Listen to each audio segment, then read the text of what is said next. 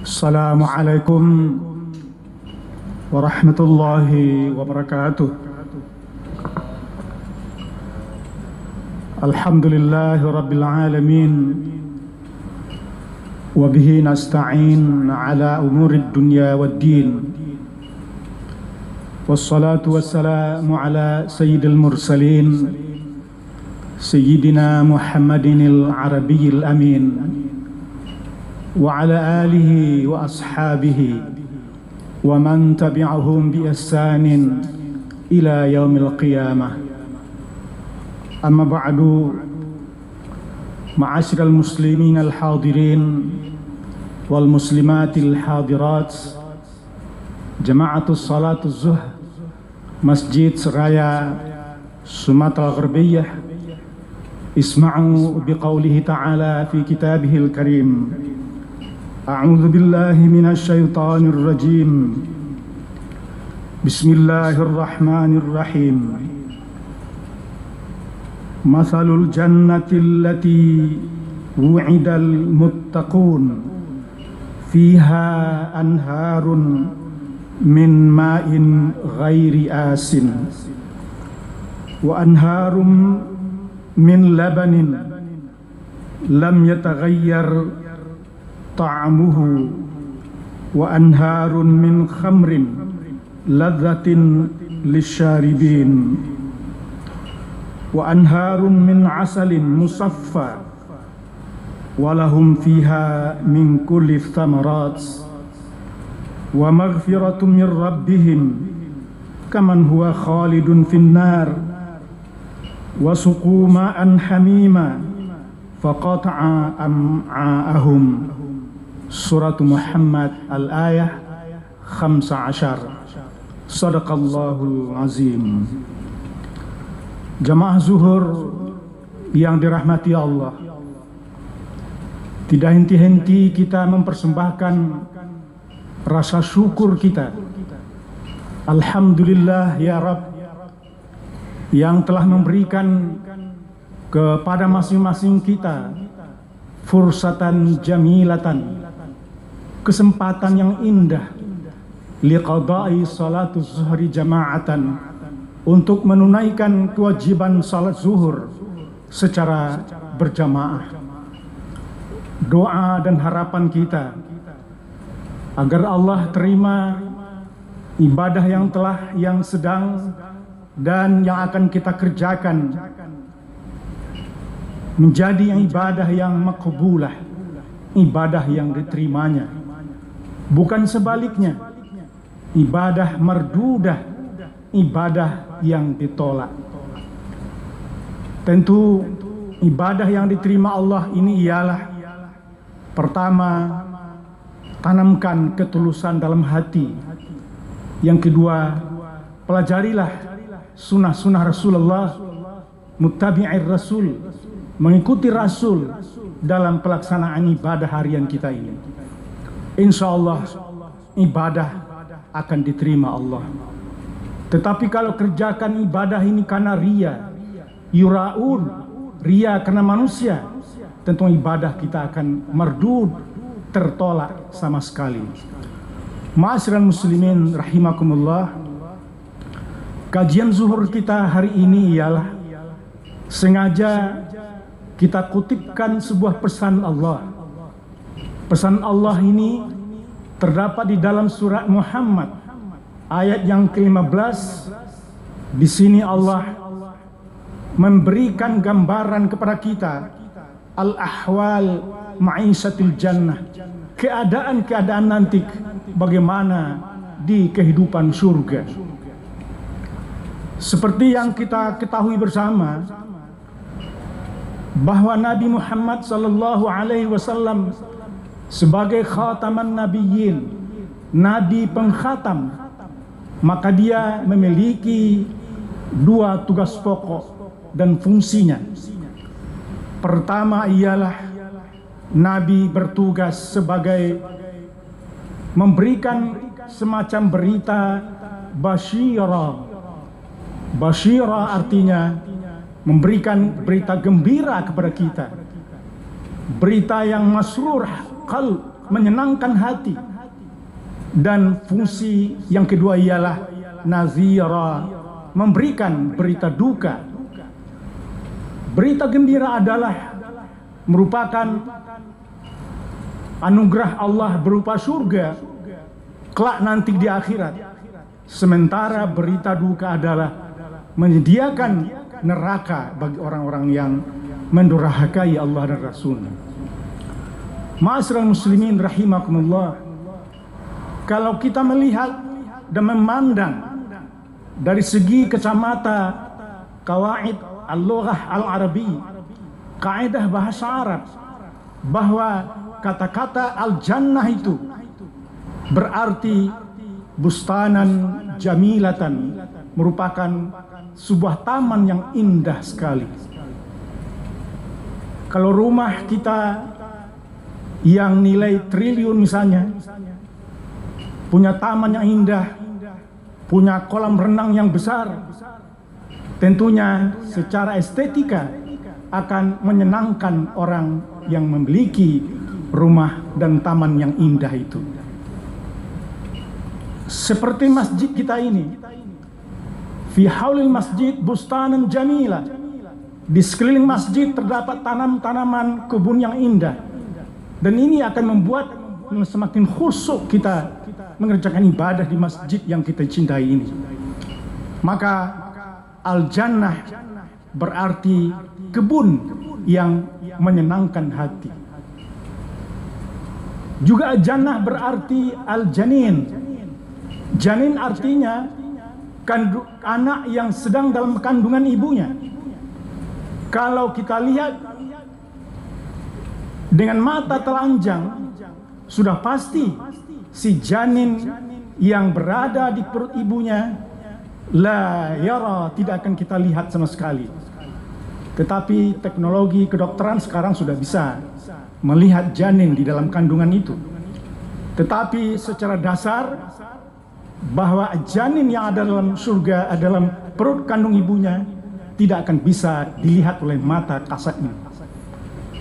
Masyarul muslimin rahimakumullah. Beberapa pandangan-pandangan para ulama bahwa surga itu adalah mala ainun ra'at tidak akan pernah dilihat oleh mata kepala ini jadi ke mana pun kita berwisata di negara-negara di dunia ini, carilah negara yang paling maju, misalnya Swiss. Maka tidak bisa kita gambarkan negara Swiss yang indah itu sama dengan surga, tidak bisa. Sebab keindahan surga itu belum akan diizinkan Allah untuk kita lihat sama sekali hari ini.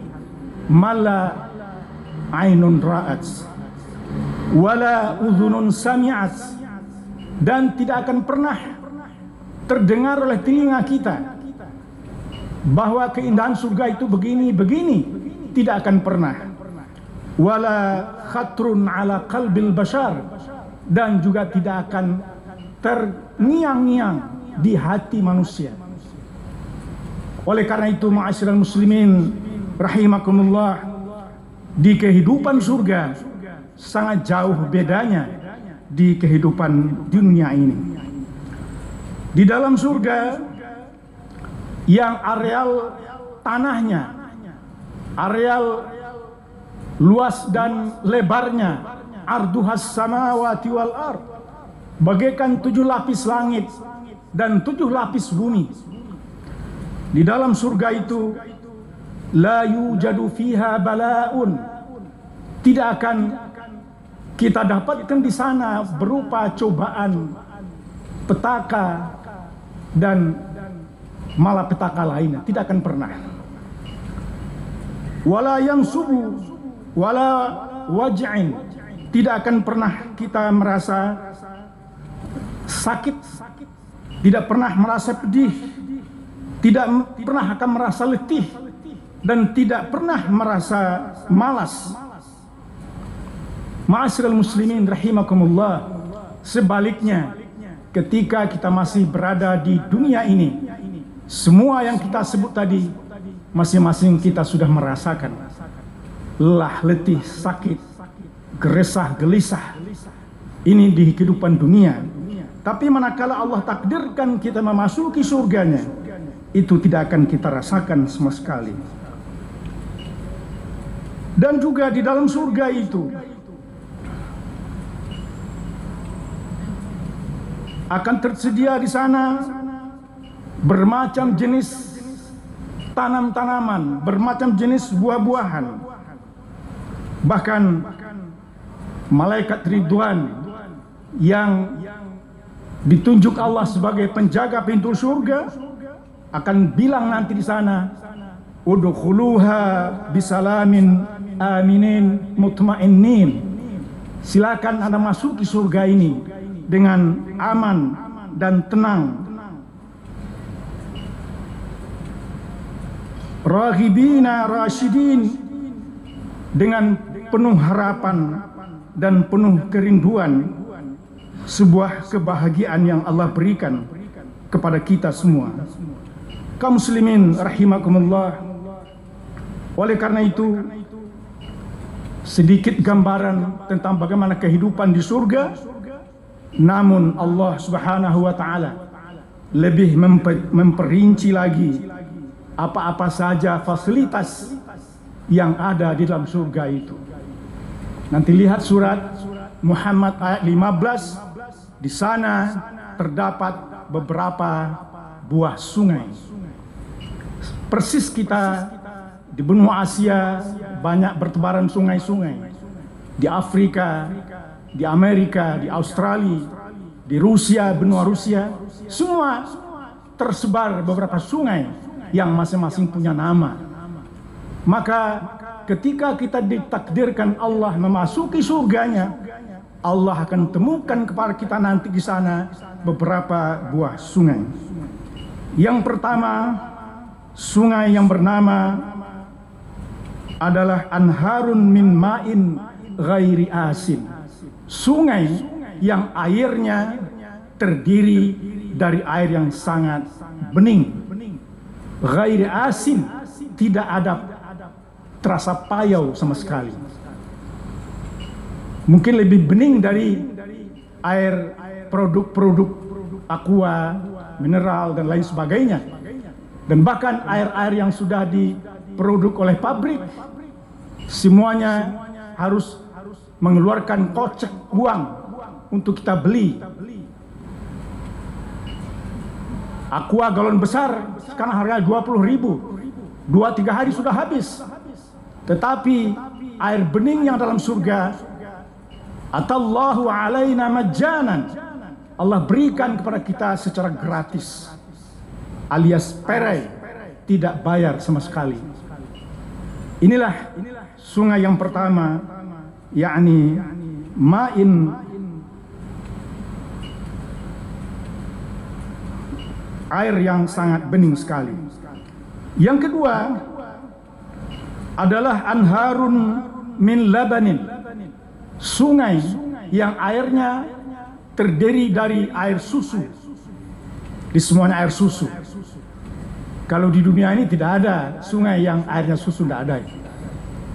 Tetapi Allah informasikan kepada kita bahwa nanti di surga Allah takdirkan masuk ke sana maka ada air susu yang kalau kita masih di dunia ini merupakan minuman yang berkelas.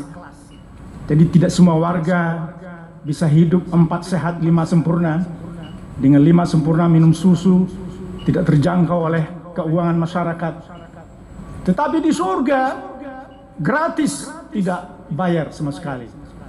Inilah air yang sungai yang kedua, air dari susu dan sifatnya lam yataghayyar ta'amuhu. Air sungai susu yang ada di surga itu dua hari tiga hari seminggu sebulan setahun bertahun-tahun tidak akan berubah rasanya. Tidak akan pernah berubah rasanya. Inilah anugerah Allah subhanahu wa ta'ala. Jemaah yang dirahmati Allah inilah sungai yang ketiga yaitu sungai yang air terdiri dari sungai air susu. Yang keempat adalah wa anharun min khamrin lazzatin lisyaribin. Sungai yang airnya terdiri dari air tua. Minuman keras kalau kita sekarang di dunia ini. Sifat air tua dan air minum keras itu adalah lazat lazzatin lisyaribin. Sangat lezat sekali orang yang meminumnya. Tidak akan pernah puas meminum air tua yang ada di surga itu.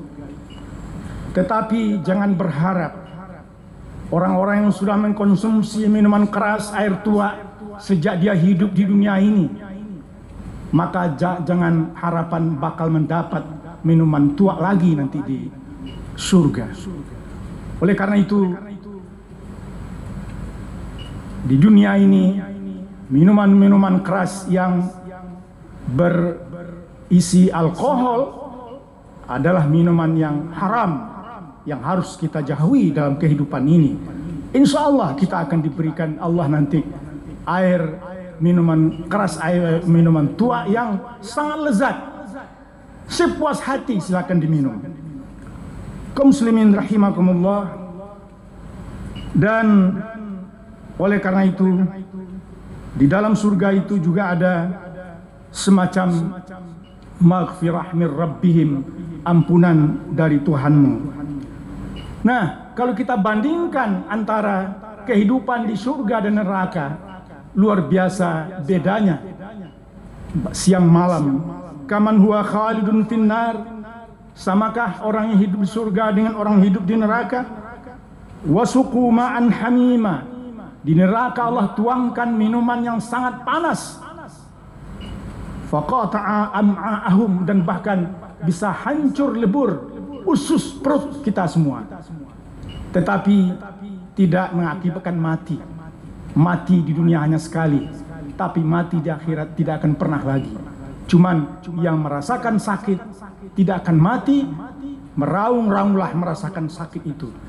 Oleh karena itu, ma'asyiral muslimin rahimakumullah, man amila salihan min zakarin au unsa, barang siapa di dunia ini rajin mengerjakan amal saleh, rajin beribadah, rajin bersedekah, rajin salat sunat, rajin baca Quran dan rajin berzikir kepada Allah, maka Allah akan jadikan mereka nanti berikan kepada Allah kepada mereka semacam kehidupan paket kehidupan yang disebut dengan hayatan thayyibah, kehidupan yang baik, kehidupan yang indah nanti di dalam surga.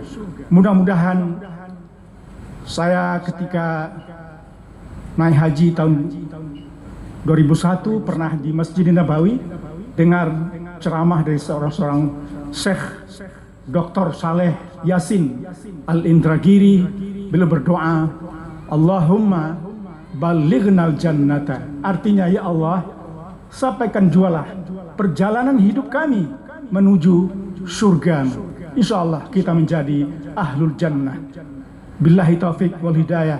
Assalamualaikum warahmatullahi wabarakatuh. Allahu akbar Allahu akbar. Ashhadu an la ilaha illallah. Ashhadu anna Muhammadar Rasulullah. 'Ala الصلاة حي على الفلاح. قد قامت الصلاة قد قامت الصلاة. الله أكبر الله أكبر. لا